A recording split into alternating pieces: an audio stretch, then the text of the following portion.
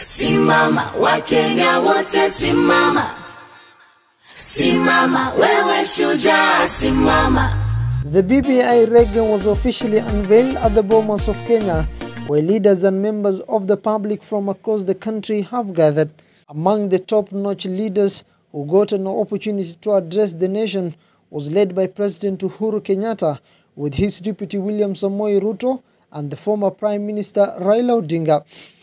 My brother Raila Odinga is good at football. So let me try to ask how fair will be a league where the referee is appointed by teams? And not all the teams, some teams. How, how fair will this league be? Addressing the gatherings, the former Prime Minister said the 2010 Constitution was a ceasefire document and the right time has come for the country as a whole to look at the issues ailing the country. So this document is as a result of very extensive consultation with the people of Kenya. The proposals which have been made here. But as other people have said, it is still work in progress. We need to be, and we have said it must be inclusive. Everybody. He later urged the Kenyans to give a humble time to, for the Jubilee Party to complete the Big Four agenda that they promised to the Kenyans. And we, uh, with President Uhuru Kenyatta, when we talked, we said we want to bequeath a better society for the coming generation of our country. It is not about making Uhuru Kenyatta a prime minister or Raila Odinga a president. And Raila Odinga has never declared, and I want to tell the Standard newspaper, anywhere that he wants to run for presidency in 2022. That is not why we brought this. We brought this because we have seen that there are problems in our country. And these problems must be solved by the people of Kenya themselves. We are going to remove this kasumba that has disturbed us. We must deal with this issue of inclusivity so that every single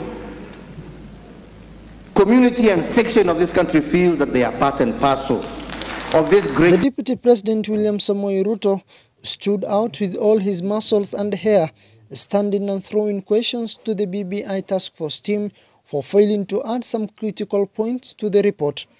that in this proposal, we will have the president with his running mate, deputy president. They will win, uh, or we have candidates, they will win an election, and then the president will appoint the prime minister and the two deputies from the winning coalition. And then we will have the runner up being the leader of opposition. Now, no problem, it doesn't matter who it is. I, have no problem. You know, let us not personalize, there is no problem.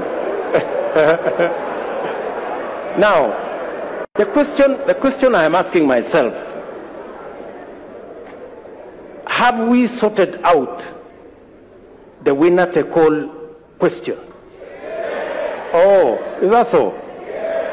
So, And finally, after the inauguration, we met with Fatuma Gedi, the women rep of Wajir, to give us on her say about the report and how the meeting was. Leader from northern part of Kenya, is it? Do you think BBI is something that is good and giving hand to the people of NEP region? Exactly.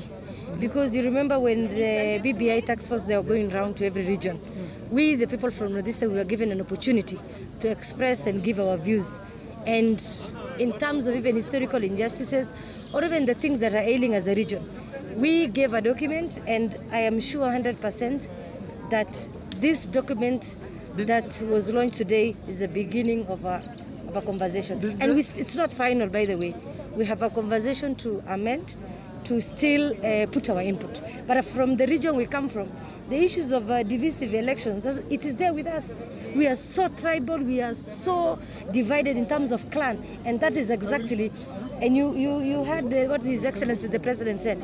We want a Kenya that is Kenya, not a, you become, I don't know, you come from one community or the other. And that is what we have the problems from Northeastern. People are so divided. Our elections are about which clan is bigger than the other. And I think it's something that we should learn from here. Northeastern, That there will be there will be an additional 38 constituencies. So there are some constituencies in Northeastern which missed the addition during the 2009 uh, IEBC election boundary review.